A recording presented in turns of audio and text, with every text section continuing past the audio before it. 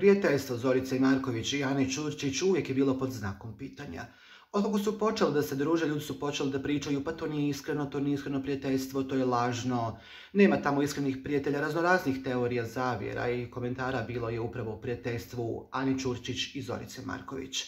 Međutim, kada je veliki šef ušao u reality program Zadruga i rekao da je možda ovo posljednji reality ovakvog oblika i da će već naredna sezona, ukoliko i bude biti zaista drugačija, ljudi su počeli da pričaju da možda prijateljstvo Ane Čurčić i Zorice Markovića nije baš toliko iskreno, ali uvijek ima onih ljudi koji komentarišu da su one iskrene prijateljice i da apsolutno između njih je iskreno prijateljstvo.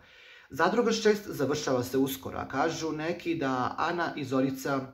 pod znakom pitanja da li će nastaviti svoje prijateljstvo van kamera reality programa, ali Ana izgleda ima u planu da nastavi druženje sa Zoricom Marković, a i Zorica isto s Anom. Pa tako Ana je rekla Zorici, sljedeće, samo te molim da izvojiš vrijeme da odemo kod moje majke na kafu, govorila je Ana Čurčić Zorici Marković. To ćemo prvo da uradimo, odgovorila je Zorica. A onda je Ana izrazila želju da i Zorica vidi njene pse, pa ostavit ćemo na vremenu da saznamo i da ispratimo da li će to sve biti tako zaista i da li će njihovo prijateljstvo nastaviti se nakon reality programa Zadruga 6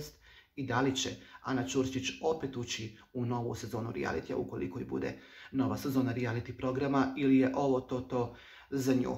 Sve ćemo to saznati kada se Zadruga završi, a do tada teorije zavjere vladaju društvenim mrežama.